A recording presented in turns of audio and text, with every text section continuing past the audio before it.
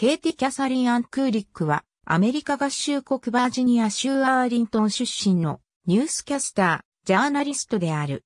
NBC、トゥデイのキャスターとして人気を博し、2006年から2011年まで CBS の全国ネット番組 CBS イブニングニュースキャスターを務める。午後6時30分台の3大ネットワーク全国ニュースとしては初の単独女性アンカーとして注目された。現在アメリカにおいて最も権威あるニュースキャスターの一人であり、タイム氏が選ぶ世界で最も影響力のある人々100人では女性でランクインした5人のうちの一人でもある。バージニア大学アメリカ学部卒。2006年の契約金は、ホーブス氏の発表では1500万ドルで、有名人収入ランキングで62位。ニュースキャスターでは1位。彼女のファミリーネームであるコリックの読み方に関して、日本語の文献には、コーリックやクリックなど複数ある。ここでは、英語読みした時のクーリックとする。ケイティ・クーリックは、アトランタジャーナルやアップ通信に勤めたジャーナリストの父ジョン・マーティン・クーリック・ジュニアと専業主婦の母、エレナ・ヘインの下に生まれた。父はイングランド国教会の教派である聖公会を信仰し、母はユダヤ人だった。母方の祖父母バースホールド、ビーヘインとクラライル・フロシンは彼らが幼少期にドイツからのユダヤ人移民で、父方の祖父母はフランスブルターニュ地方ロリアン出身。クーリックはバージニア周辺でトップ10に入る名門公立ヨークタウン高校を卒業後、1975年、アメリカで最も優秀な大学の一つ、バージニア大学に進学し1979年に卒業した。彼女はデルタデルタデルト女子学生社交クラブのメンバーだった。ほか、大学新聞、キャバリア・デイリーにおいていくつかの賞を大学から授与されている。4年生の時には、バージニア大学にあるザローンという学生寮の学生長になった。サウジアラビアのスルタン、王子航空基地にて2003年1月彼女のキャリアは、ジャーナリスト、スタン・ホッパーのデスクアシスタントとして、ワシントン DC の ABC 放送に雇われたことが始まりとなり、その後、CNN の編集者として勤務した。1984年から1986年まで、フロリダ州マイアミの WTVJ のリポーターとして働き、2年後ワシントン DC の NBC 系列 WRCTV でリポーターとして勤務。この時代に AP 通信賞とエミー賞を受賞している。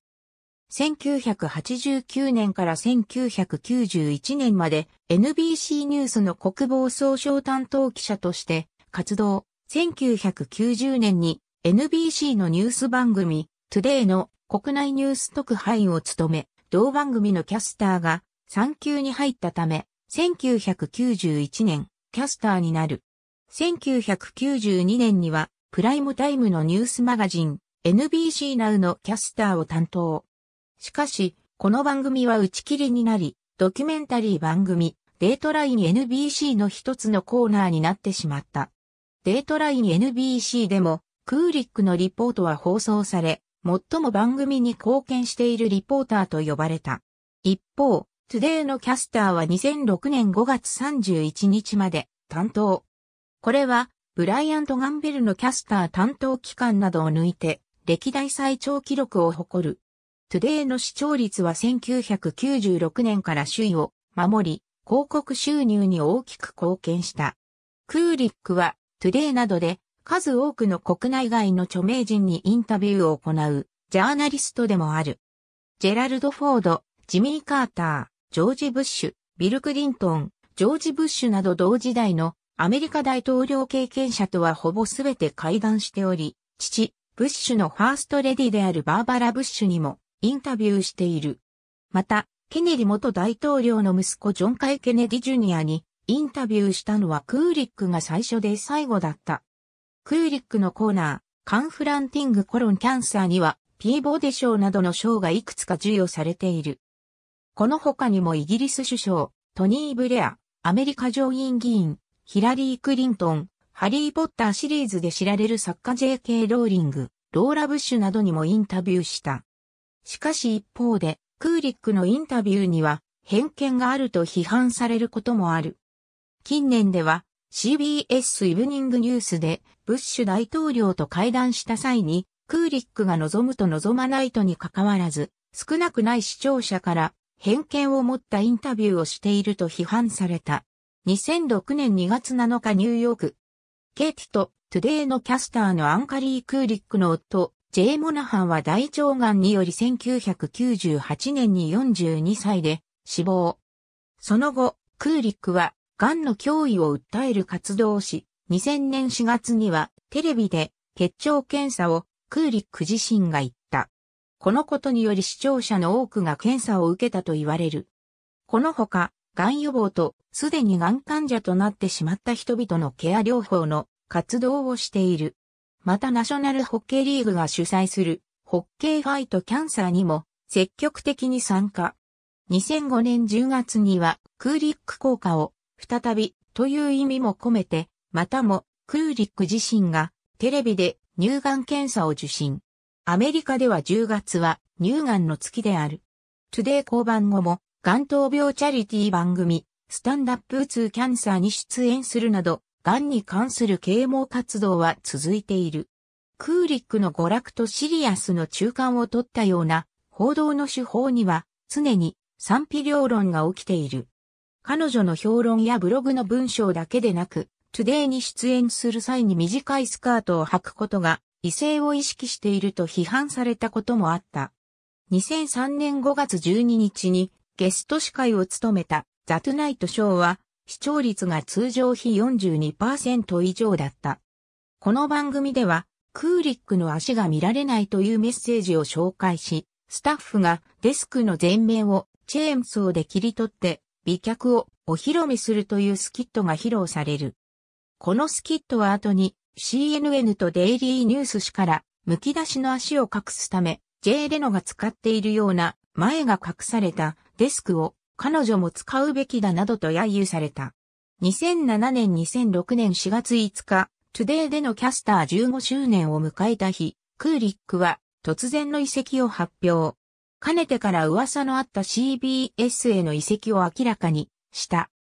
最後の放送では自分の中で整理がついてからすべてお話ししようと思っていました。今はその決心がつきました。今日、私はこの番組とお別れです。この数年、この番組とは友達のような感覚でしたと述べた。私は時々人生を変えることは素晴らしいことなんだと思います。居心地のいい場所を離れることは寂しいかもしれないけど、それはあなたの新しい人生にとってかけがえのないものになるでしょうとの感動的な言葉で締めくくった。CBS はクーリックの移籍発表後、すぐにクーリックの移籍を公式に発表。2006年9月5日より CBS イブニングニュースのキャスターと60ミニッツのリポーターを務めることを明かした。この時の契約年俸はニュースキャスターとして最も高い1500万ドル。しかし、この移籍には多くの批判が寄せられた。その中で最も多かった批判は2点あり、1点目はコーリックのジャーナリストとしての経歴が浅いことであった。キャスターとしてのキャリアはあるものの、厳しい環境での報道経験が浅いという指摘である。2点目は CBS イブニングニュースは最も権威あるニュース番組の一つであり、彼女がそれを務めるのにふさわしい人材なのか、その証拠が足りないという指摘である。事実、歴代のキャスター、特にウォルター・クロンカイトは、世論調査で最も信頼できる人物などに選ばれたことがあり、クーリックが信頼のおける放送をこなせるかが指摘された。芸能番組、アクセスハリウッドは、クーリックが前任者たちのようなスタイルは取らないつもりでいると報道。中東へ取材へ行くかとの質問に対し、クーリックは、あそこは今、本当に危ないわ。私はシングルマザーだし、二人の子供の世話をしなきゃいけない。だからいけないわと答えたと報じる。しかし、アクセスは、後に、これを訂正。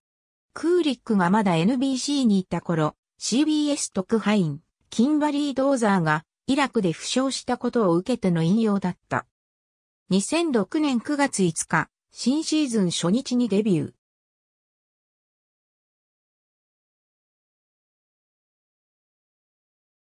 ちなみに CBS はロゴ、ウェブサイト、スタジオのデザイン、テーマ音楽などを一新。またラジオ、インターネット同時放送も初めて言っている。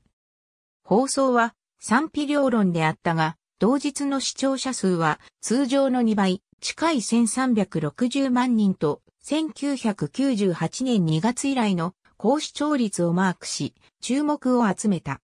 同年9月19日まで番組は他局の同時間帯のニュースを抜き視聴率1位だった。しかし、クーリック担当開始2週目は、フルス NBC のナイトリーニュースが730万人、CBS が790万人とギリギリの差となる。10月6日には ABC のワールドニュースウィズ、チャールズ・ギブソンに大量に視聴者を奪われ、3位に転落。クーリック投与によって番組は垂直立ち上げには成功したが、結局3位の定位置に戻ってしまった。2008年大統領選挙に向けた放送では、全国党大会や大統領就任式などの政治イベントの生放送とインターネットのウェブキャストにもキャスターとして出演。生放送後のウェブキャストでは、持ち前のインタビュー主体の内容が配信された。2011年、契約満了と同時に CBS を去ることを決める。5年前と同様に去就に関する噂が絶えなかったが、ディズニー、ABC プロダクションによる昼間のトーク番組を2012年秋から放送することが決まる。2011年から自身のキャリアデビュー曲である ABC の報道番組に特別特派員として出演を開始。ディズニー、ABC プロダクションによるトーク番組も2012年9月10日にケイティという番組名で予定通り放送を開始した。マリーメ、エリトルアメリカ TV 映画ノーツ、アメリカ TV 映画ノーツハット NHK 放送文化研究所、放送研究と調査2008年2月号、放送会の動きから北中南米。ありがとうございます。